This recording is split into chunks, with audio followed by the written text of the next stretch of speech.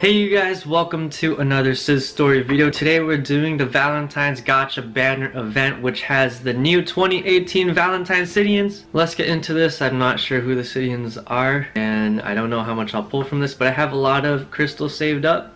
So yeah, okay. Uh. We got Valentine Okjong. I vaguely remember her. I think she was an exceptional. Okay. Oh, I like that new feature they have where you have like, um, is it called a mate? Yeah. Okay, let's continue. So it's pull number two. We got Cupid, of course. This is gonna be a featured city, and I'll try to get four of her. I think we'll aim for that. Alright, pull number three.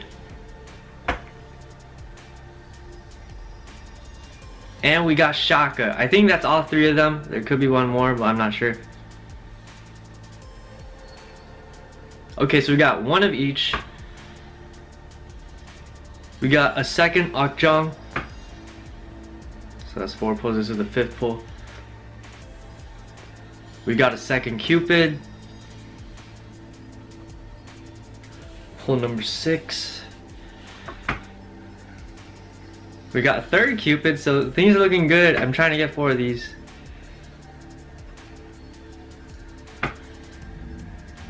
And we got the fourth Cupid. Okay, I'm gonna stop now. Out of seven pulls, we got four Valentine Cupids, and her ability is a recovery ability. We got two Valentine... Is that a typo? We got two of Valentine Okjong, and her ability is Damage Nullifier.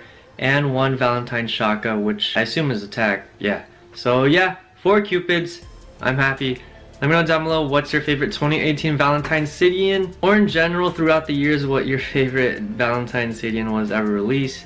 Let me check back. Last year we had Valentine Beethoven, Valentine Eos, Houdini, Sherlock.